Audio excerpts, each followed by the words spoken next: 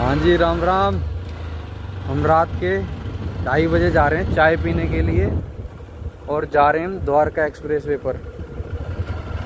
ये सेक्टर छत्तीस की गलियाँ हैं। जो लोग यहाँ पे रहते हैं, आसपास आते जाते हैं उनको पता होगा।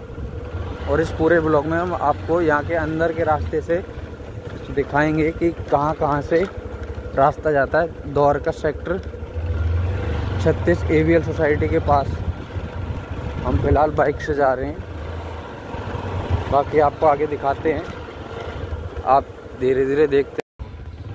हाँ भाई तो हम आ गए हैं अब द्वारका एक्सप्रेस वे से 500 मीटर दूर।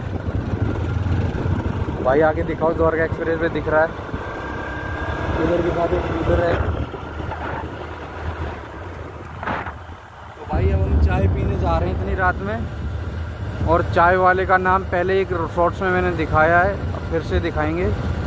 चाय वाले का नाम बहुत ही प्यारा है यूनिक है। ऐसे एक दो जगह और भी हैं, एक जगह दिल्ली में भी है और यहाँ पे भी है।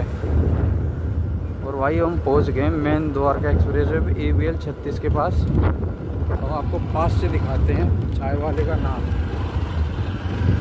यहाँ, भाई नाम दिखाओ चाय वाले का। चलो भाई, चलो। तो मेरे साथियों दिस इज़ माय फ्रेंड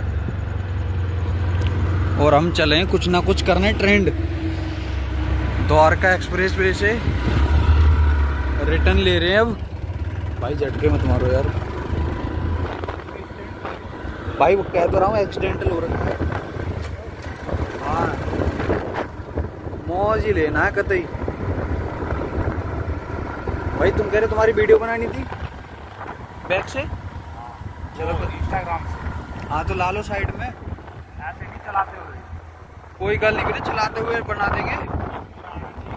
अरे बिल्कुल पूरा ही पूरा दे देंगे। भाई रोक दो साइड में। तो हाँ जी यहाँ सीधा फरीदाबाद और घूम के जयपुर और यहाँ से राजीव चौक।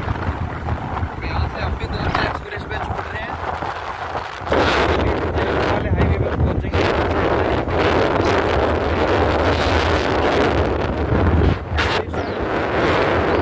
इस साइड भाई मोहम्मदपुर है और हम यहाँ से पहुँचेंगे नरसिंहपुर गाँव।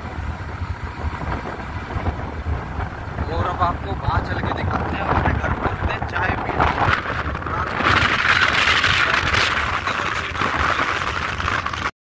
हाँ। जी ये दिल्ली जयपुर का हाईवे भी छोड़ दिया। आ गए गाँव नरसिंहपुर में, और ये भी सेक्टर 36 में ही आता है।